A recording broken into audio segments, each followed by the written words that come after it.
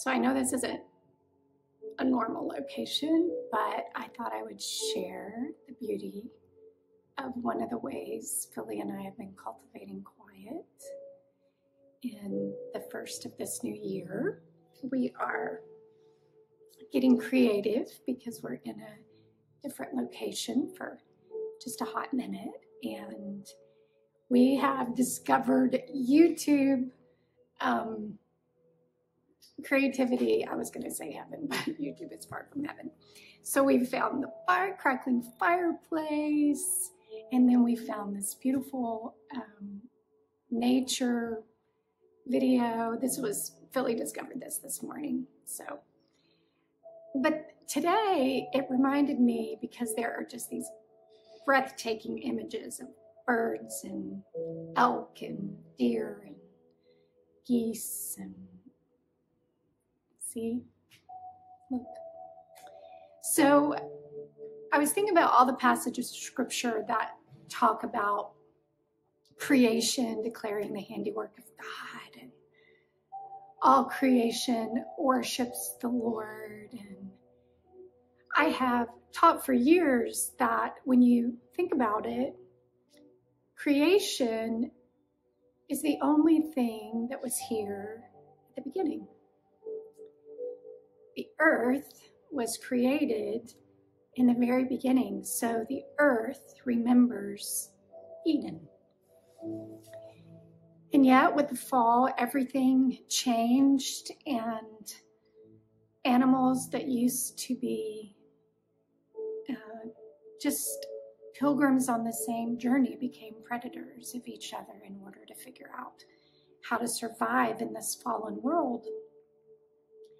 But scripture says creation groans for the return and the release of itself back to what it knew. And so, even with all these gorgeous images, creation knows that Eden was far more breathtaking and beautiful. So when we feel earthquake shaking beneath us, it's the earth's way of telling us, I long for my redemption too.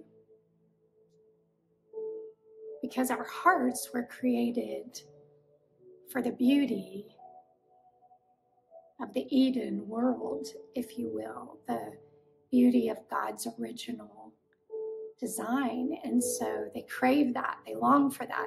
If ecclesiastes 3.11 says god set eternity in the hearts of man so that means that you and i were created with a seed of eternity that remembers eden too even though we can't logically remember it here and we have no memories of it our heart has this um, longing for home.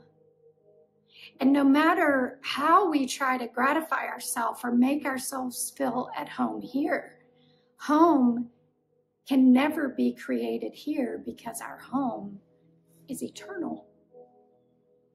So, all those things that we try to fill life with in order to find pleasure, contentment, happiness, if they're things of the world, we find our hearts still groaning. I had one pastor say one time that God set eternity in your heart because he set you up.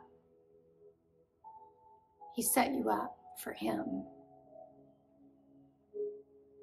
So those groanings and longings of your heart aren't really for the next relationship or the next Amazon purchase or the next piece of chocolate cake.